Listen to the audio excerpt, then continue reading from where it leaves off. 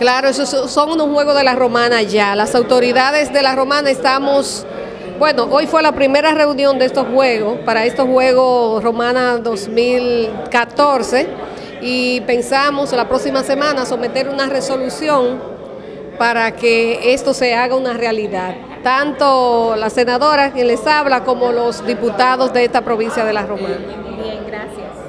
Los sextos en la provincia de La Romana.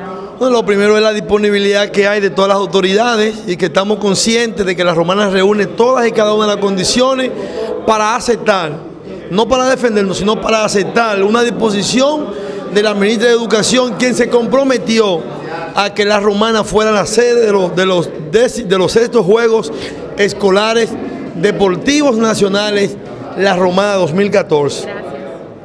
Excelente.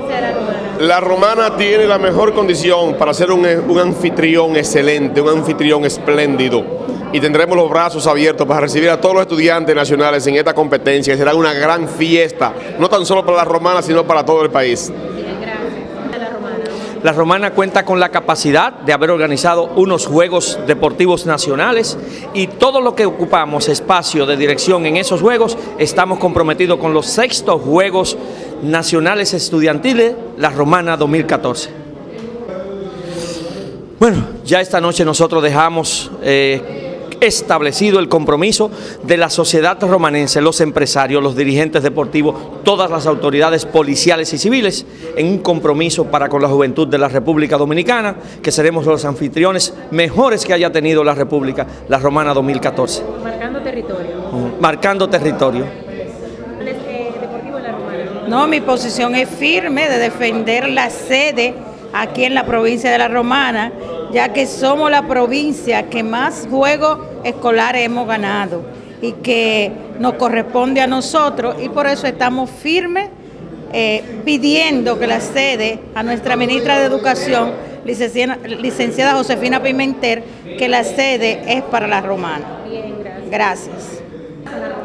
Bueno, mira, esta es una demostración de que todas las autoridades deportivas, eh, legislativas, eh, judiciales, todo el que tenga educativa aquí en la provincia de La Romana, estamos a una para que la sede de los Juegos Escolares, sextos Juegos Escolares, sea aquí en la provincia de La Romana. Y nosotros tenemos la calidad moral, puesto que fuimos los campeones de la quinta versión de esos Juegos.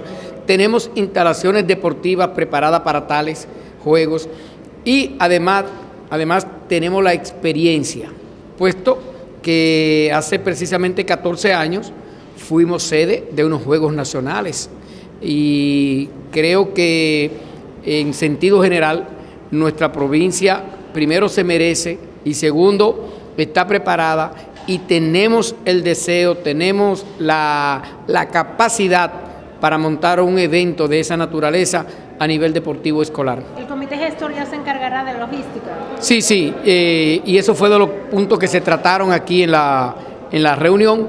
Tenemos una, una próxima reunión fijada para el próximo viernes con el director de INEFI, pero hacemos un llamado a la sociedad civil romanense porque lo vamos a invitar a reuniones al sector empresarial, al sector comercial, a los clubes deportivos, para que a una todo lo que es la, fuerza viva de, nuestra provincia, eh, estemos enfilados en tener esa sede y eh, montar un evento como verdaderamente se lo merece nuestra provincia de La Romana y nuestro país. Gracias. Gracias a usted.